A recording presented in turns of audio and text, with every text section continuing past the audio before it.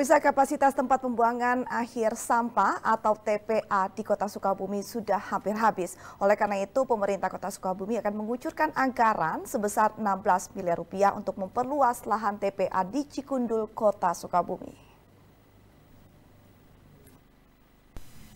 Saat ini daya tampung tempat pembuangan air sampah atau TPA di wilayah Cikundul, Kecamatan Lembur Situ, Kota Sukabumi sudah hampir habis dan tersisa setidaknya 1.400 meter persegi. Padahal setiap hari volume sampah di Kota Sukabumi mencapai 171 meter persegi.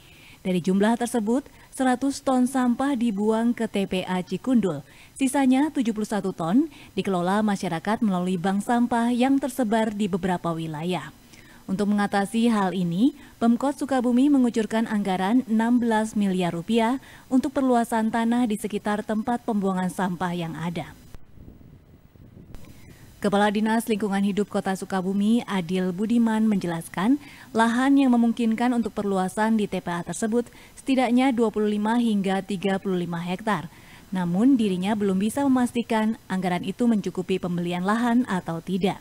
Tapi tahun sekarang ya kalau kalau ini eh, kita bangun yang sisa 1.400 kalau kita bangun tahun sekarang insya Allah 2 sampai dua setengah tahun akan bertahan sampai tahun dengan perluasan lahan di sekitar tempat pembuangan sampah, lahan TPA yang ada saat ini bisa bertahan sampai dua setengah tahun mendatang. Budi Setiawan, Bandung TV.